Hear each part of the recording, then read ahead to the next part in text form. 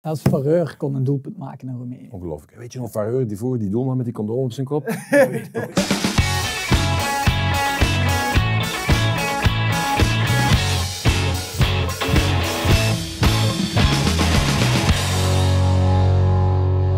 Van harte welkom bij een nieuwe Unibet Experts. Peper in de onderbroek en de sokken voor de Belgen, want we moeten naar Rusland.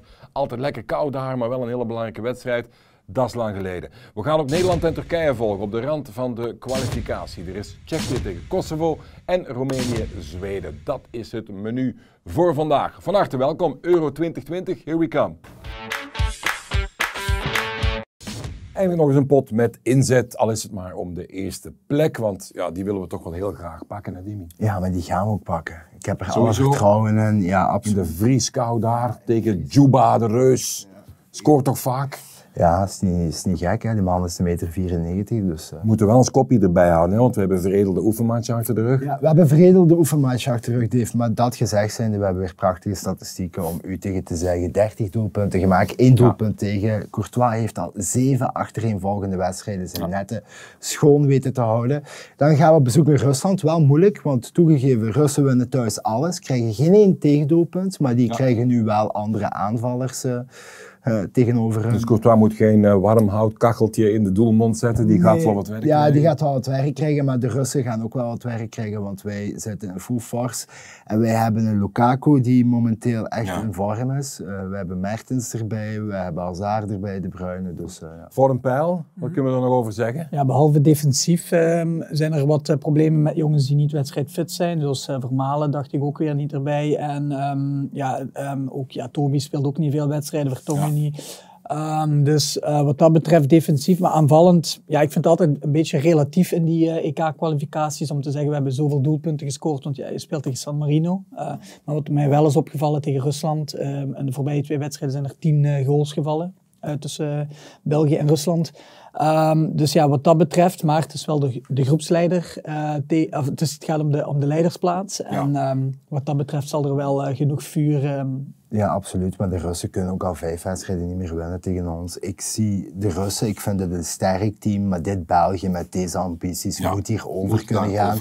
En eigenlijk, om die ambities kracht bij te zetten, moeten ze hier winnen met handicap. Ja, met die Russen, als er eentje zou kunnen prikken, dan zou je toch denken, die Reus daar, eh, Artem Juba. ja, Ehm, negen doelpunten al gescoord. Ja. Ehm, dus eh, als er dan iemand een doelpuntje maakt, is hij natuurlijk eh, een van de ehm, ja, favorieten. Ja. Maar eh, we hebben wel genoeg kwaliteit om er overheen te gaan. Dan eh, ben ik heel benieuwd naar jouw conclusie. Eh, een doelpuntje voor de Russen kan, maar eh, België loopt erover. België wint en beide teams scoren. België wint vlot. En dan kunnen we nog eens een voetbalcliché bovenhalen, want Noord-Ierland away, altijd lastig. Altijd lastig. Stugge ploeg. Stu- ja, Goeie absoluut. defensie. Goede defensie, absoluut. In een groep met Nederland en met Duitsland beschikt Noord-Ierland over de beste verdediging. Ja. Dat is echt genoeg. Huzarenstukje eigenlijk, hè? want vaak jongens die op lagere niveaus voetballen, ze hebben dan die Connor eh, Washington in de spits, maar, Maar niet enkel op verplaatsing. Ook thuis had Nederland het bijzonder moeilijk tegen Noord-Ierland. Want in de laatste tien minuten gaan ze er nog op en over. Ja. Uh, maar nu gaan ze bezoek in, in Noord-Ierland. En Nederland heeft zich wel herpakt. Ze wonnen de laatste vier uh, wedstrijden. En de laatste zeven wedstrijden zagen ook meer dan twee, uh, gemiddeld minimum drie goals. Dus, ja. De paai, Ja, Memphis Depay, maar zeker ook niet te vergeten, uh, Wijnaldum vind ik ook wel echt opvallen op het middenveld. Ja, ze kennen hem bij Genk ook nog, het eerste doelpunt in Liverpool. Um, Ouch. Uh, ja, um, op middenveld uh, Memphis Depay, uh, me, of uh, Memphis Depay op zich, maar uh, Wijnaldum uh, ook. Gewoon vijf doelpunten volgens mij al gemaakt. Uh, uh, maar dit Nederland op dit moment, um, ja, um, de, de honger is zo groot en uh, Ja. ze gaan geen risico willen nemen hier. maar laatste kans Noord-Ierland, wat denken we daarvan? Uh, ja, thuis kan er altijd wel iets geks gebeuren, maar het is gelijk Vince zegt, de kwaliteit en de honger bij Nederland zijn intrinsiek groter en ik zie Nederland dit wel uh, winnend afsluiten. Dus het enige wat wel is, is uh, Noord-Ierland en, uh, en, en, Nederland krijgen bijna evenveel doelpunten tegen. Ja. dus Nederland is te, ten opzichte van de doelpunten dat ze maken, vind ik toch dat ze best wel wat doelpunten ja. tegen krijgen. Ja. Dus defensief nog een beetje zoekend. Conclusie? Conclusie, Nederland scoort minimum twee keer. Nederland wint en beide teams scoren. Turkije met Frankrijk 19 punten aan de kop. Laatste kans voor IJsland. Je zou denken een walkover. Ja, thuis. Turkije is thuis wel ijzersterk. Hè? Deze kwalificaties laat u niet vangen. Ze hebben Ja. nul tegendoelpunten. in Turkije. Dus, uh, Toeterende auto's dus, of niet? Toeterende auto's sowieso. Maar onderling heeft IJsland wel het voordeel. Vier van de vijf laatste wedstrijden onderling weet IJsland uh, te winnen. Uh, en Turkije thuis is wel ijzersterk, zoals ik al zei. Maar uh, ja, het kwaliteitsverschil vind ik toch iets groter bij de Turken. Het is uh, een, echt een goed collectief. Laatste kans voor IJsland. Uh, won ja. de laatste drie wedstrijden tegen Turkije. Scoorde er een, telkens twee doelpunten. Dus maar als ik naar die noteringen kijk, vind ik had Turkije wel wat hoger mogen staan. want het is toch wel een belangrijke wedstrijd voor, voor beide teams. En als IJsland het uh, verstandig en slim uitspeelt, dan kan, het wel, uh, kan Turkije ja. zich daar wel eens op stuk bijten. Misschien nog kort even die Tosun, Everton. Ja. ja, die is goed hè, stopscorer momenteel bij Turkije. Ja. Vijf doelpunten gemaakt. Uh, Cenk Tosun, ja, waarom zou die niet opnieuw kunnen prikken? Dat zie ik wel gebeuren. Maar ik zie wel een wedstrijd waar beide teams, want ze beschikken wel over relatief goede aanvallers. Ja. Beide teams denk ik wel een doelpuntje gaan okay. laten we dan een conclusie bij elkaar toeteren. Doe er maar. Tuchtteam IJsland uh, wint of gelijkspel. Turkije gaat zijn eerste tegengoal slikken, want beide teams zullen scoren. Eergevoelig volk, die uh, Kosovaren, één puntje achter op de Tsjechen. Een eenvoudige rekensom leert ons dat ze bij winst dus... Winnen. Dus... Kwalificeren, tweede staan, ja. Nee, maar goed, alle gekken hebben stokje. Kosovo. Ja. ja, het heeft echt wel een stug team. Hè? Maar die Kosovaren die scoren minimum twee doelpunten in de laatste vier uh, wedstrijden. Die hebben echt wel een mooi spel op de mat gelegd. Tegen Engeland vond ik ze echt gewoon goed spelen. Ja. Goed in het systeem spelen. Die Tsjechen die hebben ook niet zo'n sterke verdediging, want nee. die krijgen wel best wat uh, veel doelpunten tegen. Maar uh, de prijzen voor, voor Kosovo vind ik bijzonder interessant. Jij ook? Um, nee. Uh, nee, ik ga voor. Uh, ik ga voor vertel. Ja, nee, de prijzen zijn misschien wel interessant. puntje van. Ja, die ben ik ook wel eens mijn stoel. De prijzen zijn misschien wel, de prijzen zijn ja. misschien wel zo interessant, dat wel, maar um, ik zie geen argument om op uh, Kosovo te spelen. Tsjechië won al zijn thuiswedstrijden en dat is wel waar, zoals Dimi zegt, defensief iets minder, maar thuis krijgen ze wel maar twee doelpunten tegen. Dan ben ik benieuwd naar een conclusie. Tsjechië wint. Minimum drie goals, prima notering bij Unibet.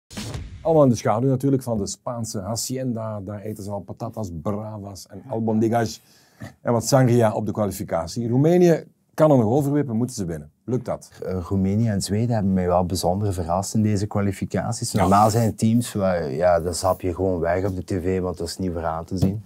Maar nu weten beide teams toch heel vlot te scoren. Meer dan twee doelpunten gemiddeld per wedstrijd. En dat is echt wel opvallend voor die teams. Even wat namen gooien, hè? want we hebben nog allemaal Kipchu in die Haji, Haji uh, Stanchu. Met Zweden die die berg ondertussen uh, half bejaard. Ja. Je moet het nog allemaal trekken. Geen Slatan. nee, jammer genoeg. Slatan is niet wedstrijdfit. Maar uh, ja, ze hielden ook nog maar één clean sheet thuis Roemenië. En het is zoals, uh, zoals ik al hoor, al die namen. Maar het zijn ook nu niet de namen waar ik echt warm van loop. Nee. Dus, maar Roemenië op een eindtoernooi is wel altijd leuk, hè? Was, hè? Maar ze kunnen die tactiek toepassen hoe ze dat vroeger deden in Boekarest. Kan jij dat niet zo uitleggen? Ah, ja, met die blaffende honden. Dat was ongelooflijk. Uh, Boekarest, away, Stawa, Stawa. Dan kreeg je 23 of 65 blaffende honden de hele nacht aan het hotel.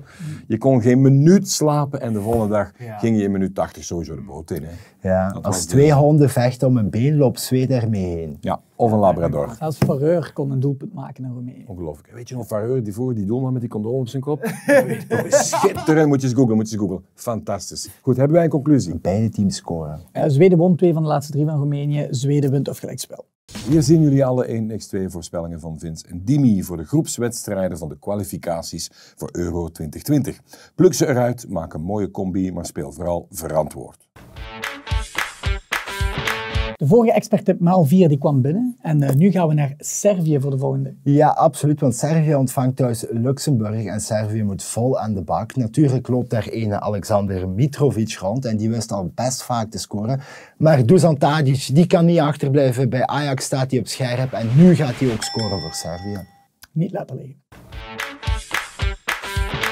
Ook deze week weer een leuke Europese combi voor jullie, jongens. Yes, uh, Polen die gaan niet verliezen in Israël. En Wales die nemen de drie punten mee uit Azerbeidzjan. Nederland wint in Noord-Ierland. En Kroatië wint thuis tegen Slovenië. Nog even meegeven, een prachtige actie bij Unibet. 25% winstverhoging op onze Rode Duivels. Neem die ook even mee.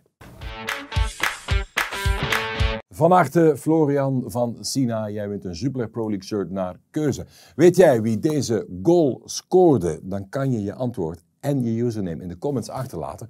En misschien eh, valt dat eh, shirt binnenkort bij jou in de bus. Naar keuze, niet vergeten. Succes! Oké jongens, wij zijn helemaal klaar voor de International Break. Heerlijke wedstrijden, geribbelde paprika chips en een goudgele Redpaal. in de aanslag. Tot de volgende keer, man.